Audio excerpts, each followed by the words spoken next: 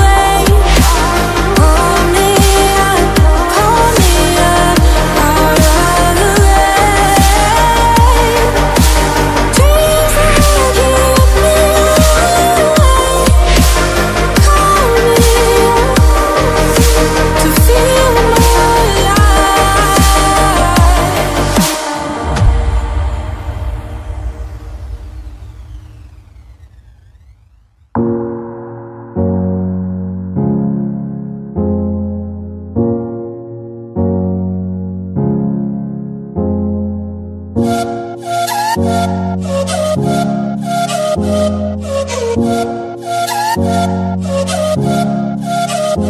you.